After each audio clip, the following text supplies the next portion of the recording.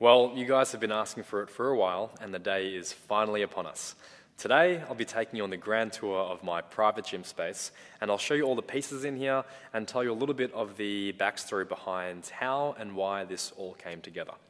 There's a lot going on in this video, so you'll find timestamps below, and let's get stuck straight into it.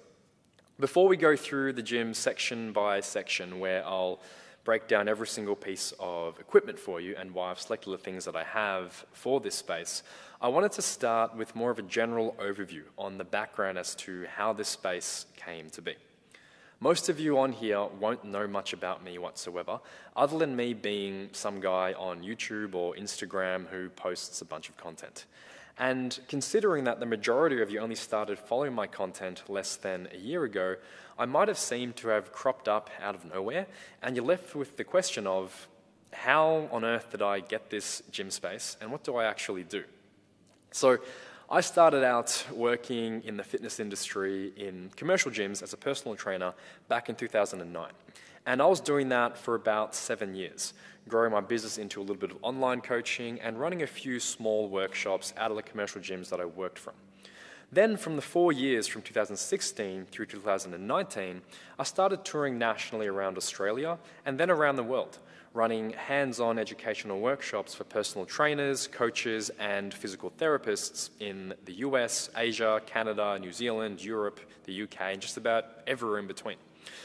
Through nearly all of 2018 and 19, I was living out of a suitcase, and I'd be in a different city just about every single week with my workshop tours. Teaching, especially hands on teaching, is probably one of my favorite things to be doing. There's something so rewarding and fulfilling about being able to have such a positive impact on people's lives and improving their understanding, not just on training and nutrition, but how to take care of their health long term and to pass that on to other people. There were, however, a couple of big issues that I started to run into with traveling and teaching so much. First of all was the gym spaces that I'd be using to run my workshops from. Finding a gym that checked all the boxes that I needed to be able to run things the way that I wanted, to be able to provide the most value, was proving more difficult as my workshops grew. And it wasn't just about having enough room to be able to house all of the students, but to also have all the pieces of equipment to be able to teach and demonstrate everything that I wanted to, as well as enough pieces to be able to run practicals for everyone to be able to get a hands-on experience of what was being taught without having these humongous bottlenecks where everybody would be gathered around the one squat rack or the one lat pull down for an hour to be able to use it for all of about maybe 20 seconds. And finally, and most, probably most importantly, I needed somewhere that was able to be closed off or made private in some way for the entire 16 to 20 hours of the workshop, as it can be extremely disruptive to gym members to have to work around a full practical workshop being conducted on a gym floor, and incredibly disruptive to the students to have to work around members and to try to learn from a demonstration with loud music blaring on the gym speakers. So, while you might be thinking of a few different gyms that you know of locally where you are in the world, you'll probably be hard pressed to find any that tick every single one of those boxes. And that is the exact frustration that I've been dealing with on the road. I'd be welcomed into so many incredible facilities all around the world, and I'd be able to make it work for the most part. But I'd always finish an event thinking to myself, if I only had this piece of equipment or more space, or even something as simple as better acoustics in the place for sound management, it would have been a far better experience. So I'm not going to hijack this video with all the different horror stories and funny tour stories from all of those years. Maybe I'll do that in another video down the road if you guys are really interested to hear some of those. But it was all enough for me to start to realize that I was being really limited by not having the ideal space to be able to create the experiences that I wanted. The other thing that was starting to push me towards my own space was the growth of everything that I was doing. When I started touring in 2016, I struggled to fill 10 people into a workshop in Australia. But by 2018, I was selling out entire tours, seeing thousands of people all over the world, with extended wait lists and still not being able to fill the demand of several cities and countries not being able to fit into my schedule. By then, I'd launched Ganbaru Method, which served as my online educational platform to be able to share my content with all those people who couldn't come to workshops. And I wanted to find a way to make that content an even better experience for all the members on there. So my website, Ganbaru Method, simply started as a place for me to house all the recordings from my workshops on the road and maybe a few extra pieces of content that I'd be filming in these different gyms on the fly. But I wanted it to be so much more. I wanted it to be a platform where I could conduct lectures and workshops and where I could make purpose built content and deliver programs and workouts that put all of the educational content into practice so people from all backgrounds could benefit from it. Whether they simply wanted to blindly follow a program as a general training enthusiast and trust that it catered to their needs, or they wanted to understand all the details that go into making a program like that, I wanted them all to know that they could be covered. And it was around the start of 2019 that I realized that I was actually costing me a lot more money to not have a space than to have a space. There were countless times where I'd be going to film some content, but then have to deal with liaising with another gym to shoot at, and then coordinating times with a videographer or athletes and setting everything up, only to get to the shoot and have members in the background or have a loud gym environment that I couldn't record audio at, or certain key pieces of equipment were missing or being repaired or being used by members. It was all incredibly frustrating to me. And the more I thought about it, I'd really been having these issues since I first started filming my content back in 2013, though obviously to a much lesser extent. So that was it. I decided to start searching for a space of my own, and I found one that looked appropriate, this space here, in the middle of 2019 when I was still on tour. I got everything sorted from overseas and started getting all my renovation and equipment plans in place through the rest of the year. And everything started to come together at the start of 2020. As you can see, it started out as an empty shell. It needed a complete rework to create the mood, ambience, and style that I wanted from a creative space. To not just be another big warehouse that had a bunch of equipment thrown into it, but to be somewhere that I'd be excited to come to, that would be calming, focusing, and allow me to create the content and experiences that I'd always dreamed about. So without further ado, let's take a look at some of the main features of this space and the equipment that I've chosen and why I've put things together the way that I have. First of all, and something that most of you won't even realize as being as important as it is, is the acoustic treatment to this space. So the ceiling is completely lined with acoustic foam, and the main feature wall also has acoustic foam behind the wooden slats. One of the biggest gripes that I would have with a lot of the gyms that I'd be going to was the acoustics of the premises. I'm not against loud music or the clanging and banging that happens in gyms on the whole, but there's nothing more off putting and distracting than the echo and reverberation that comes from a typical open space where sound is free to bounce off everything.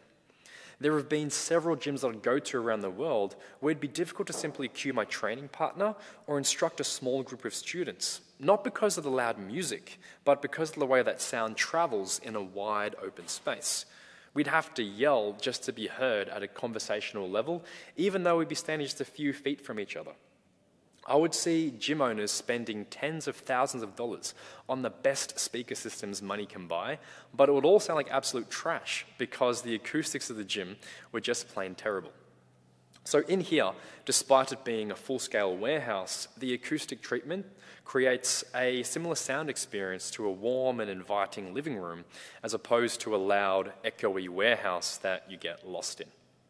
So, next up, we have the center stage here this platform, which is sitting under the giant halo light. This is a full-scale 4 meter by 4 meter lifting platform. I wanted it this size initially because I had a concept to make it a convertible platform between the carpet flooring for powerlifting to a wood platform for Olympic lifting, and finally for my tatami mats for Brazilian Jiu-Jitsu. After going through some of the designs though, it didn't seem as feasible to do the wooden platform, so I ditched that idea but retained the size as it broke up the space really nicely to make everything seem a lot less cluttered. From an aesthetic design perspective, one thing that I've grown to appreciate over the years is open space. If you look around this gym, you can see I can easily fit a lot more equipment in here. But not only would it not necessarily be useful for me from a pure usage perspective, but it would also take away from the open feel to this space. It helps to create the overall ambience. Similar to a bedroom or workstation, a busy space creates a busy mind, and I wanted to make this as much a stress-free zone as possible. It was also really important for me to keep as much open space as possible, purely from a filming perspective. I didn't want to just make everything fit on the floor plan. I had to make sure that from a video or workshop perspective, there would be unobstructed views to all the important features of each piece of equipment. Another question I get regularly is about my brand name and logo. Ganbaru is a Japanese word that loosely translated means to slog on tenaciously through difficult times and striving to not just be or do your best, but to become more than your best. To me, it captures the continual pursuit of improvement, which is something that I think just about everybody can resonate with. Nothing in this life comes easy, and it's a huge undertaking to push yourself to grow into whatever development it is that you're striving for. The Ganbaru G is based upon the concept of squaring the circle, which is an unsolvable mathematical problem, which is a metaphor for trying to achieve the impossible, and for bringing together two things which are generally thought of not being able to exist together. And I resonate with that because a lot of my background in training didn't come strictly from bodybuilding or from one source. I would learn from bodybuilders and powerlifters and exercise physiologists, but I'd also learn from dancers and martial artists and singers and acrobats to develop my view of the training world. For me, Ganbaru is not just about following one system rigidly, but being able to draw from a wide variety of backgrounds, as there is nearly always going to be something useful to learn from somebody else. All right, so let's move along now to some of the fun stuff, the equipment. Most of the pieces here are from Atlantis and Prime, with a couple of select pieces from Cybex, Nautilus, and Hammer Strength. I'm not going to go through and deconstruct every single piece and all its nuances individually, as that would drag out what's really going to be a long video into an even longer one. But if you are curious to see more of my thoughts around specific pieces of equipment and why I chose them and why I like them over the others, let me know in the comments section and I'll create some more specific equipment overview videos in the future for you guys. I also do think it's necessary to mention that as a rule, I never accept any endorsements or paid advertising from any company, whether it's fitness brands, supplement companies, clothing, or anything in between. I paid for all the equipment here out of my own pocket and hand selected everything that I use in this gym. If I'm using something, it's because I stand by it, not because I'm paid to do so by the company. Just in case you're wondering whether or not this is going to be a humongous ad for a certain equipment manufacturer or anything like that, it's not. So the main fit out came from Atlantis, which out of all the equipment that I've used, Atlantis has always stood out to me as the best all rounder. There is still yet to be a brand of equipment supplier that does everything perfectly, including Atlantis. But they did check a lot of the boxes for just about everything that I wanted with the basic pieces of kit, like your seated rows, lat pull downs, and isolation leg machines. They also go the extra mile with their design and engineering to think of things like foot plates for short people and to create extra long designs so you can get an extra stretch without bottoming out the weight stack. They also made a couple of my personal favorite pieces of equipment that not many other companies make the high cable row and the pendulum squat. I've reviewed both of them before, so I'll leave links to those in the description box below. They also make what I believe to be one of the absolute best 45 degree hyperextension benches on the market due to its height and adjustability. From an overall engineering perspective, the cables and all the pin-loaded machines from Atlantis are extremely smooth and robust. You'll see I also have a free motion functional cable station that I use a lot. And while that does offer a lot more from a customization and versatility perspective, the load capacity of the cables and the overall strength of the machine is pretty poor. I actually broke one of the cables within my first couple of uses on that machine trying to set it up for a cable press. And I've heard a lot of other people having similar issues with the piece needing regular maintenance. So the free motion still does get the job done as an adjustable cable station for me for my personal use, and I use it every time that I train, but I do wish that Atlantis made a functional cable station instead. So right here under the bright lights we have the leg aisle. I've got Atlantis calf raises, an old Cybex leg press, Nautilus glute drive, Atlantis pendulum squats, Cybex hack squat, and a Cybex Smith machine. Now, to most people, a leg press is a leg press, or a hip thrust is a hip thrust, or a hack squat is a hack squat. But to me, details matter. and small differences in things like the angling of the foot plate or the back support or the size of the foot plate or the length of the back pads or the position of the safeties all go a very long way to not just make it a more comfortable machine, but to allow you to set things up appropriately.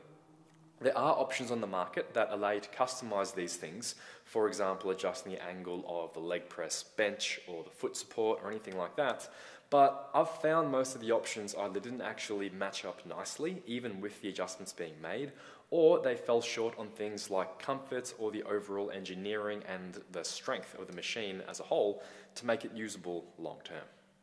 Moving across now to the opposite side of the gym, we have all of the isolation leg machines. We've got an assisted Nordic curl, a seated leg curl, lying leg curl, leg extension, and an abduction adduction machine. All of it is from Atlantis except for the abduction adduction machine, which is by Prime. I actually purchased that piece not because I use it a ton, but more so as a teaching tool for the adjustable cams. Now, without going too far off track on a nerdy tangent and boring you guys to death, Part of how pin-loaded cable-driven machines work is via what's called a cam, or these weirdly shaped things here. So as you go through whatever exercise it is, the cable wraps around the cam, which, due to its weird shape, alters the distance that the cable is from the pivot point of the machine. This alters the resistance placed upon your muscle through different points of an exercise. An equivalent way to think of it is to imagine you're doing a biceps curl with a dumbbell. If you did the dumbbell curl with your arm by your side versus with your arm in front of your body in more of a concentration style, or with your arm behind your body in the incline curl style, the dumbbell still weighs the same, but it's placing more resistance on your biceps at different points of the range of motion. Cams are doing the exact same thing on cable driven machines. And the unique thing about Prime is that they allow you to alter this on the same exercise. So you can do the one movement and apply more stress on different positions of the range of motion for the same exercise. But yeah, I really don't use it that much personally. The other pieces of equipment that I got from Prime are these two plate loaded rows. When it comes to machines in a gym, I think the two body parts you really need to think about are legs and back. Arms, shoulders, and chest, for the most part, can easily be hit with cables and dumbbells, but legs and back are far harder to cover completely without machines. So this is an entire back aisle. So again, I went with Prime here because of the adjustability of the grips and for the different weight pegs.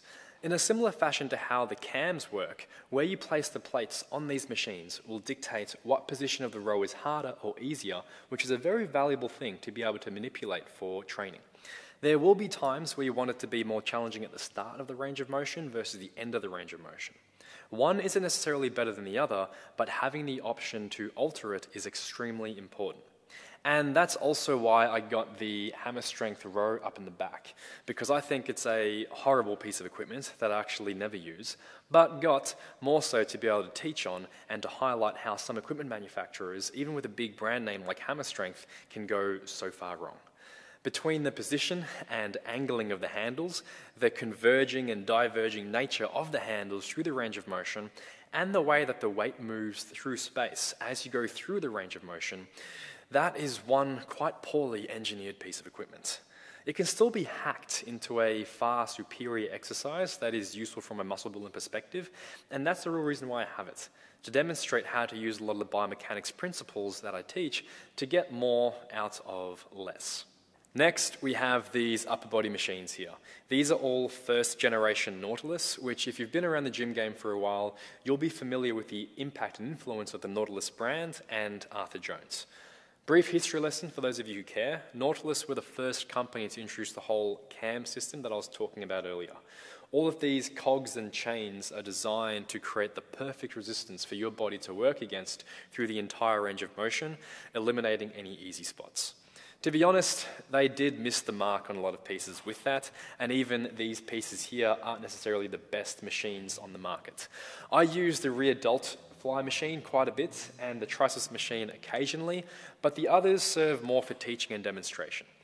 These two in particular, the upper chest or front delt fly and the upper back fly, are both in theory great pieces of equipment, but because you're forced into these extremely abducted positions instead of a more tucked position, it winds up cranking a lot more on your joints than doing anything productive for your muscles.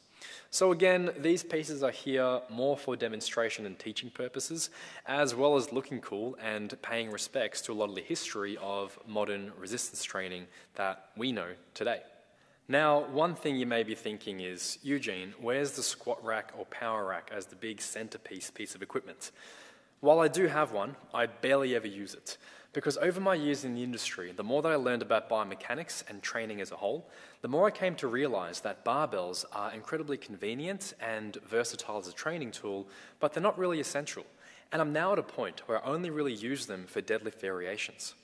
Obviously, if you're doing powerlifting or Olympic lifting or other barbell related sports like CrossFit, you need to incorporate barbell exercises and get good at them. And a power rack or a squat rack will be an essential piece of equipment for your training. But if your goals are more general and they're to build muscle and to build strength that is non specific to barbell sports, just about all barbell exercises can be replaced with dumbbell, cable, or machine based exercises for far superior results, or at the very least, the same result with less side effects, like soreness, joint pain, and general fatigue. It's probably one of my most unpopular opinions, but when you look into the fundamental principles of biomechanics, mechanical tension, and fatigue, it starts making a lot more sense. It really does come down to what you have available, though, and in my case, where I have what I need available to work towards my goals here, I don't see much of a need for a barbell for things like squats, presses, or rows anymore. So the rack that I do have is the first piece of equipment that I purchased back in 2015 when I was training out of my mum's garage. This Eleiko Combo Power Rack. I always believe in buying quality, and you only have to buy it once when you do that. So when it comes to barbells, plates, and competition-grade equipment, Eleiko is the gold standard. I have a full set of bumper plates, a weightlifting bar, and a powerlifting bar from Eleiko, all of which I've been training with since 2015. The last thing we have here are dumbbells. These are all from Ivanko and go up to 170 pounds, which I, of course, have personally never touched beyond unboxing them since I don't even weigh 170 pounds anymore. But dumbbells are probably the one thing that I was really nervous about getting because they're such an expensive item. I knew that I didn't want the typical rubberized or polyurethane dumbbells you see in a lot of commercial gyms because they just don't have that feel that I grew up with, and I think they're just plain tacky. Beyond the pure design, you also need to consider the width of the handle and the knurling coarseness. Ivanko have been leaders with creating dumbbells for years and have kept true to the style of steel dumbbells with an incredibly comfortable width and knurling that doesn't need much wearing in at all. So they were the first option I went for and I'm incredibly happy with them. So finally, the most common question I get around this gym is, is it open to public and can people come to train here? At this stage, the answer is no. This space was created with the sole purpose of functioning as my creative space to be able to make the best possible content and experiences for you. Most days, I'll be here filming or brainstorming content or just plain tinkering around to continue to experiment with everything training related. And to open it up to members would start to limit that creative process. So there you have it, guys, a full look inside my headquarters. Hope you guys have enjoyed this video, and a big thank you to all of you who have been there from the early years when I was just getting started in the fitness industry. There's a lot more content to come from me in this space, so I'll see you all next time.